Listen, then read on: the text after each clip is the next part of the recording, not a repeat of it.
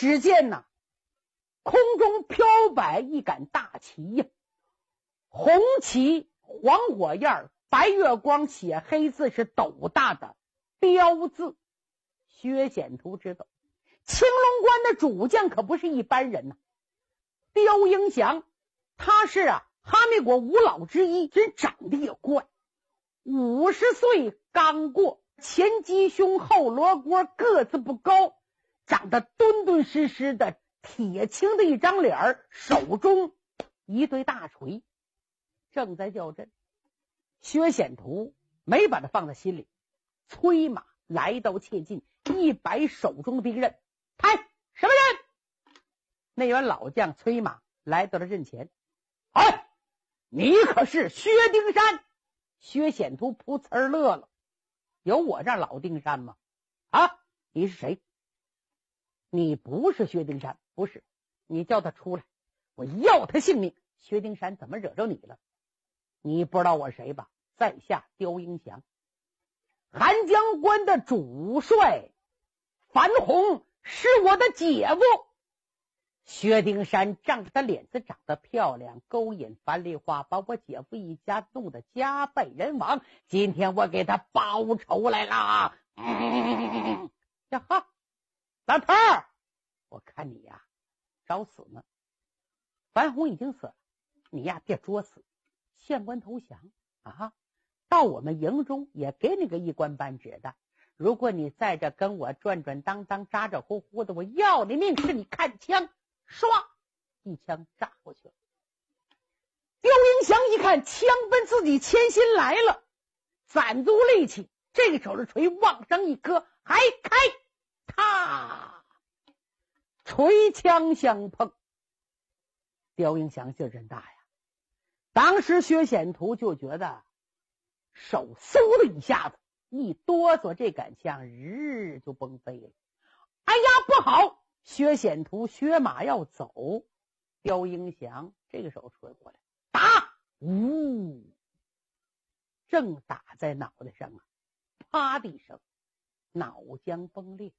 薛显图跟着薛礼跨海征东十二年，此番又在征西的路上立了战功，没想到死在刁英祥手，尸体张落马下，战马落荒而走。有军卒把尸体打走，再看刁英祥战马在疆场上没圈了，哪个在战呢？早有军卒往里边报信儿。薛礼一听，没疼死啊！哎，我磕头这几个兄弟没剩几个了，我的薛贤弟呀，他恨丁山。怎么？刚才军卒说了。刁英祥是樊梨花的亲舅舅，如果军中有樊梨花，你说刁英祥能在疆场上行凶打死薛贤图吗？奴才呀，你给我出战！薛丁山说：“我早想出战，谁让你叫薛仙图我的叔叔去了？我去。”催马来到疆场，很快来到刁英祥近前，带住征军。哎，老头。你竟敢杀了我的叔叔！我今天报仇。刁英祥一看，哎呦，这小伙子精神！你可是薛丁山？然。刁英祥一看，点点头啊，怪不得樊梨花到疆场就看上这个小白脸了。嗯，姓薛的，我跟你一天二地之仇，三江四海之恨。你好不该勾引樊梨花有夫之妇，竟然他杀了我的姐夫，杀了我两个外甥，今天我要你的性命！此时薛丁山不恨刁英祥，恨樊梨花。丫头啊，要不是你做这种事，我怎么能落个骂名呢？程咬金为了得疆土。把我人喝出去了，名都不要了。我薛丁山是战旗顶破天，坐下压他地的英雄，落这么个臭名。刁云祥，你少用血口喷人，是你看枪。说着，枪急马快，奔着刁英祥扎了过去。刁英祥急忙一学战马，展开用锤去找枪。薛丁山绝对不会让这枪碰着锤，这老头要发疯玩命的，我跟你玩这个命的。常言说的好，一力降十会，可我用一巧破千金。所以一看呢，锤到了，撤回来打，呜，刷又一下子，哎呀，用锤告风，嗨，打，连着两下，二马一错蹬，薛丁山一挥手，扎，奔哪？奔老头的。后胸，这老头个矮，前金胸后罗锅，本来就矮，他往下一低头，后背躲过去了，在耳朵这噌就一下子。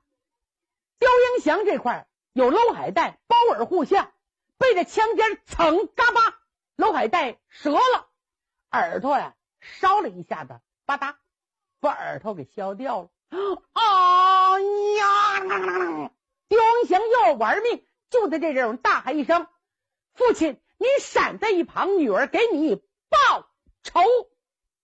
青龙关的老帅刁英祥，他是樊梨花的亲娘舅。樊梨花在寒江关的事儿，有人告诉了刁英祥。谁说的呢？就是副将黑木耳。他到刁英祥面前搬弄是非，说樊梨花。弑父诛兄，倒卖寒江关。哎呀，把个刁英祥气得烂蹦，火冒三丈。所以大唐的军卒一到，他出马临战，见着薛丁山，咬牙切齿，玩了命。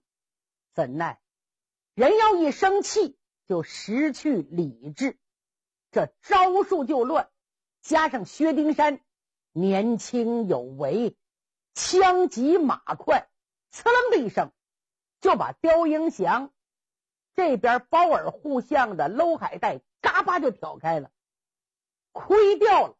耳朵，唰，用枪尖这么一戳，嗯，耳朵掉了，立刻鲜血直流，疼得哇哇暴叫，他要拼命。有人高声断喝：“爹爹，你不要着急上火，跟这个畜生你犯得着吗？看女儿要他的性命！”话音刚落，蹭蹭蹭，一员女将来到了薛丁山的眼前。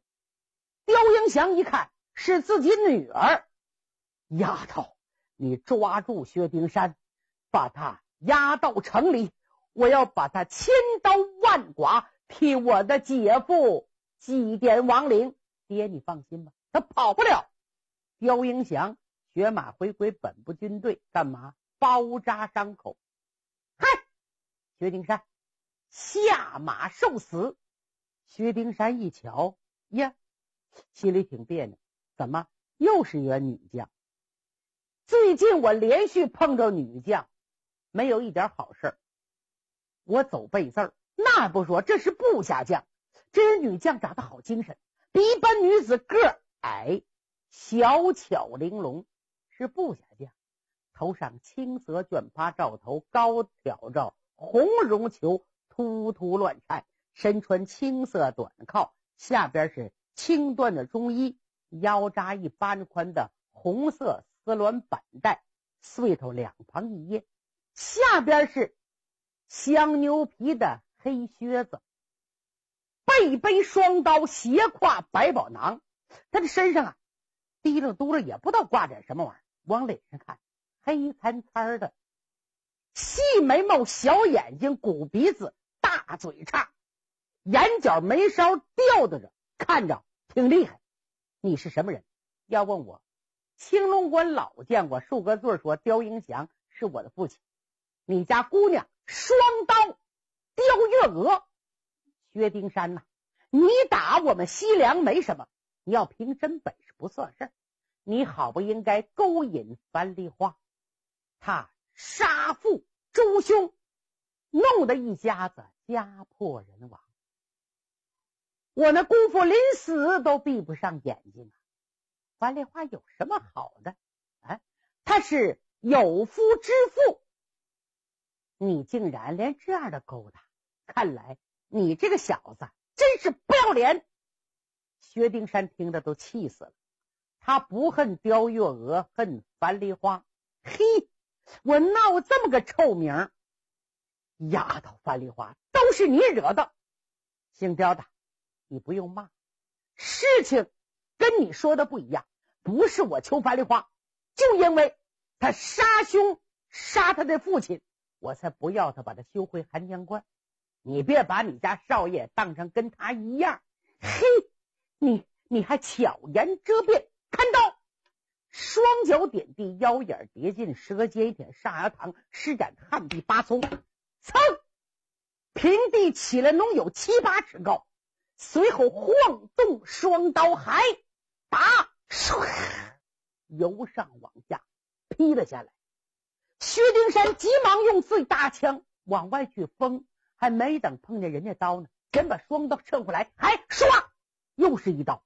薛丁山吓一跳啊！一闪身，战马，这个女的蹭蹭蹭追过去，背后唰又是一刀，身子太快太利索了。骑马人呢有优点，但是又缺点，和部下打显得笨。你战马得转来转去，他这部下正噔噔噔噔噔围着你转呢。薛丁山呢汗都下来，哎呦，这可糟！我骑着马这么高个子，他这么高。啊，还不骑马？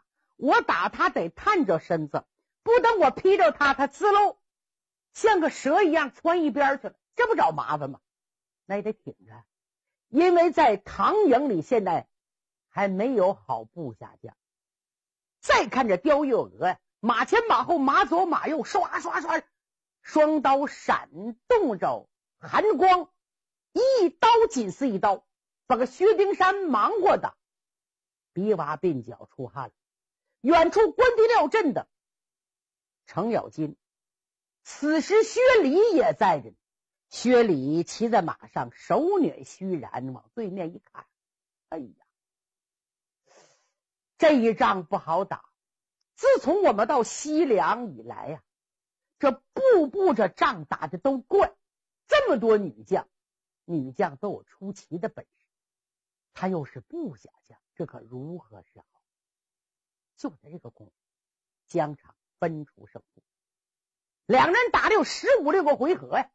薛丁山呢，忙活在眼前，就看这女的转来转去。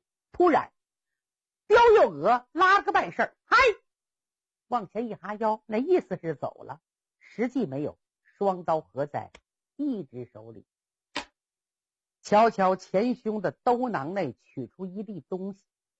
这个薛丁山马往前纵，摆枪就扎，扎！这一探身，再看刁月娥往旁就错了这么半步，猛然往前一纵身，噌，他又窜起来了。就在这个地方，薛丁山撤枪一愣神，啊！就这么功夫，这个女的甩手打，薛丁山再躲就没躲开，就打在了脑门这。啪！嗯，丁山一愣，什么玩意儿？可以不疼？嗯，可了不得，一股辛辣味儿，而且眼睛迷住，立刻，哎呀，不好，眼睛睁不开了。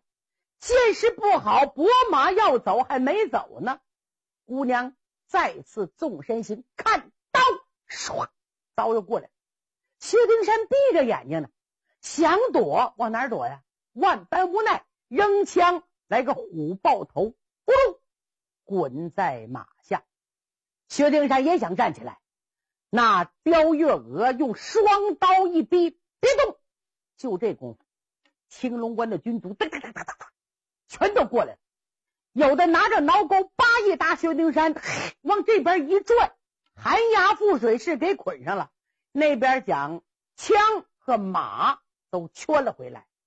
将枪挂在得胜钩上，把马圈到近前，把薛丁山往马背上一搭，夹起来就走。刁月娥说：“哪个再战？”那位说了：“青龙关的军卒抢去了薛丁山，唐营战将呢，没有精神准备，不知道啊。你等众将军卒都明白了，人家也把人家走了。刚要往前冲去抢薛丁山，青龙关的军卒叭叭叭叭一阵乱箭呢，过不去。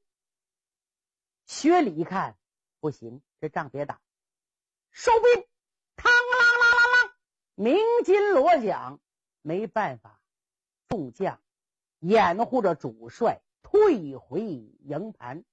刁月娥把小嘴一撇，刀交左手，哼，明天再战，我饶你们不死。一摆手，这边也回了青龙关。再说元帅薛礼。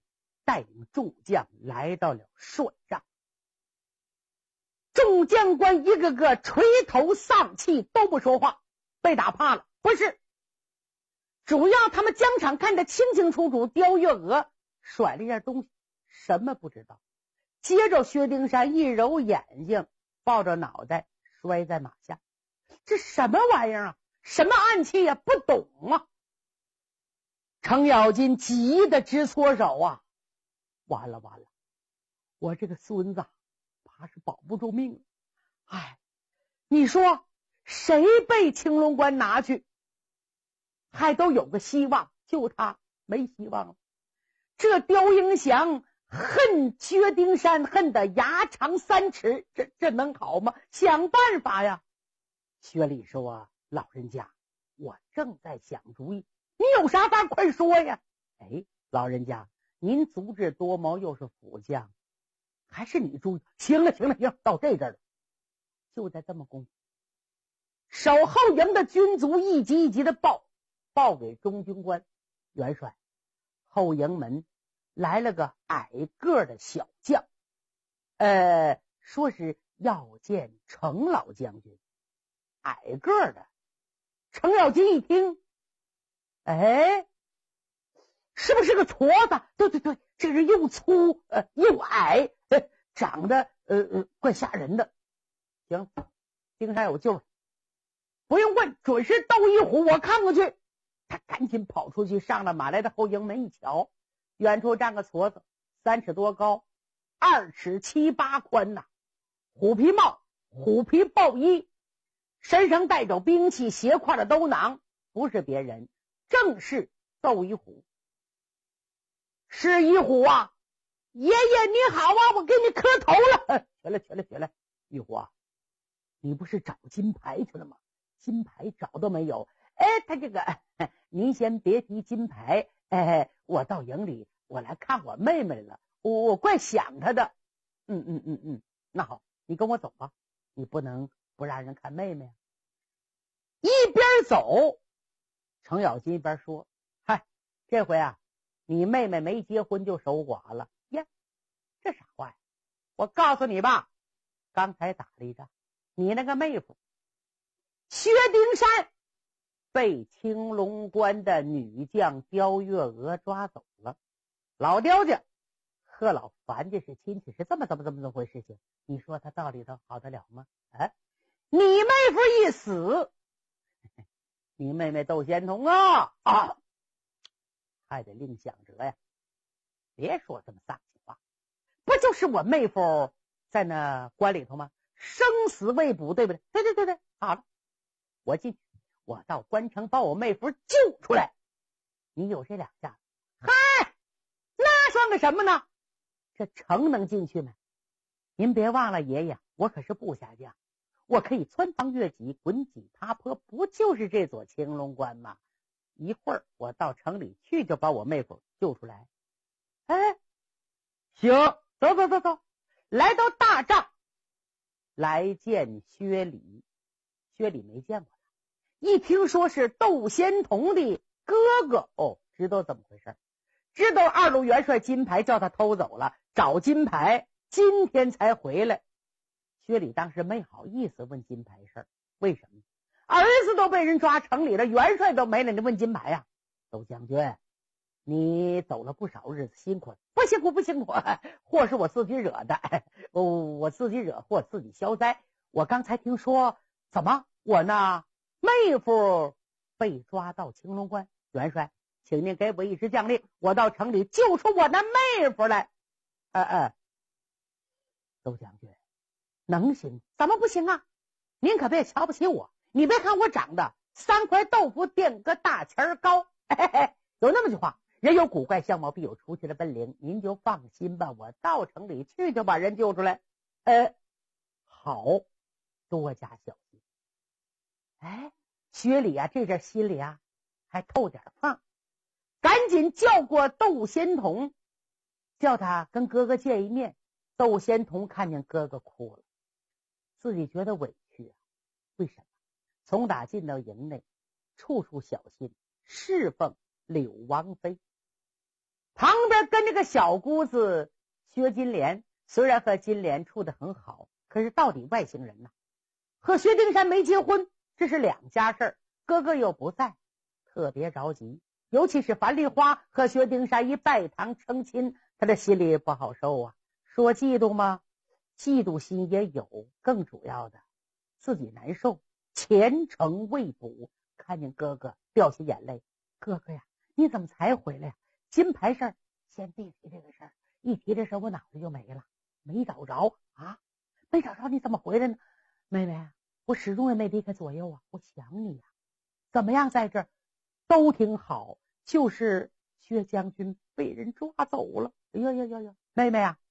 跟哥哥分手这么些日子见面，你都不知道掉两滴眼泪，怎么？这薛丁山跟你没过门，你先哭两声。哥哥，你别闹了，我怎么能不惦着你？好了，妹妹，有这句话行了，你等着，我到城里去就把他救出来啊！就这样，他被领到了下边，准备些吃吃喝喝，洗涮已毕，换好了衣靠，一切东西都准备完了。天到掌灯时分，他跟程咬金说。爷爷，我走了，小心点，用不用我给你掩护？不用，就这样。小矬子离开了营盘，绕走，他没有直接奔青龙关，为什么呢？怕被人巡逻的人看见。就这样绕出挺远的地方，而是在东南角这，就是城墙拐角的地方，止住了脚步。天又黑，人又矮，他走到跟那轱辘差不多。看看护城河，虽然青龙关外边有护城河，这个地方是沙子多、水少，水量很小很小。另外，矬子有功夫，脚尖点地，施展旱地八葱，来个燕子三朝水，歘，往对面纵。这一下子纵不过去不要紧，左脚面一搭，右脚面一使劲，噌，再窜一次，又要落到河里。这个脚面再搭，这个脚面噌，再一下子，纵三下来到护城河对岸。他往下一蹲，拢足眼神看了看，四下没有人注意。小矬子站起身来，要到青龙关解救薛丁山。下回接着说。